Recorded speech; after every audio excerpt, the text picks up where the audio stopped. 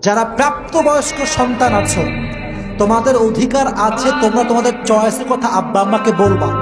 আর আব্বা আম্মারও উচিত নিজের স্বপ্ন, নিজের চয়েস বাদ দিয়ে নিজের সন্তানের চয়েসকে বেশি প্রাধান্য দেওয়া। এই জন্য সংসার আব্বা নয়, সংসার করবে সন্তান।